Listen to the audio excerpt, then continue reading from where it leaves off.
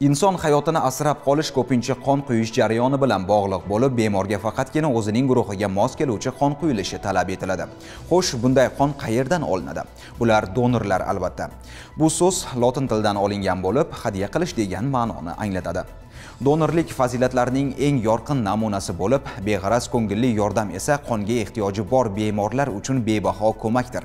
Ohangaron tumani tibbiyot birlashmasi markaziy shifoxonasida aholining tibbiy ijtimoiy ko'makka muhtoj qatlamini qo'llab quvvatlash kabi ezgu g'oyalarni keng targ'ib qilishga qaratilgan men donorman shiori ostida beg'araz donorlik kuni o'tkazildi. Tafsilotlar bilan muxbirimiz lavhasida tanishishingiz mumkin. Insonning hayotini asrab qolish ko'pincha qon quyish jarayoni bilan bog'liq. Qon esa kimyo laboratoriyalarida ishlab chiqilmaydi.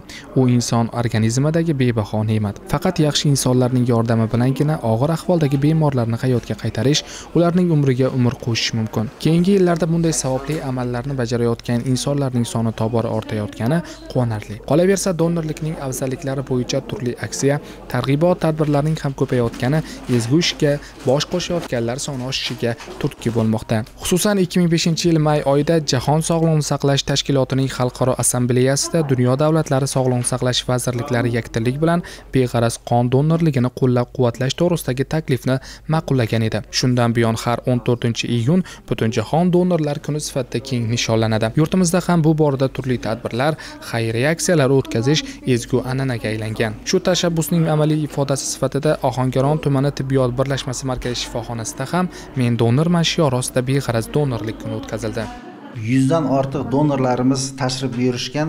Bu ohangaron tuman tarixida bu birinchi marta bo'lishi. bir yuz qirq o'rinli shifoxonaning qon quyish bo'limida hozirgi kunda birinchi marta bunday donorlik beg'araz donorlik aksiyasi o'tkazilmoqda. o'n sakkiz yoshdan oltmish yoshgacha bo'lgan sog'lom odamlarda va olti oy davomida chet elda bo'lmagan fuqarolarimiz orasida undan tashqari yoshligida e, gepatit bilan kasallanmagan aholimiz o'rta orasida donorlikni topshirishi va ko'plab hozir men o'zim e'tibor beryapman e, davlaniya ya'ni qon bosimi oshgan bemorlarimizni o'zlarida bizning tavsiyalarimizga amal qilgan holda biz o'zi tashrif buyurishi bu albatta quvonarli hol. Tadbirni o'tkazishdan maqsad tibbiy ijtimoiy ko'makka muhtoj aholi qatlamini qo'llab quvvatlash insonlarni ko'ngilli ravishda qon topshirishga chaqirish orqali bemorlarning hayotini saqlab qolish jamiyatda insonparvarlik va mehr oqibat g'oyalarini keng targ'ib qilishga qaratilgan. Kelganimda odamlarni o'tirganini ko'rib qon topshirayotganlarini ko'rdim. Men ham o'zim shu odamlar qatori qon topshirishni qaror qildim. Hamshiralarga uchrashgan edim qondan analiz olib qon guruhimni aniqlab berishdi. Birinchi gruppa qon ekan. Hozir kirib to'rt yuz ellik gramm qon topshirdim.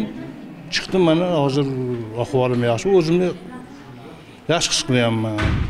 O'zimdan ketgan mana shu to'rt yuz ellik gramm qon kimlargadir tug'ruqxonadagilargami bemor odamlargami foydasi tekkan bo'lsa men o'zimni xursand his qilaman yana aytishdi uch oy to'rt oylardan keyin kelib yana topshirishimiz mumkin ekan. Men unga o'zim xohishim bilan kelib topshirib ketaman. Qon bu hayot. Sizning qoningiz ko'plab insonlarning hayotini asrab qolishi mumkin.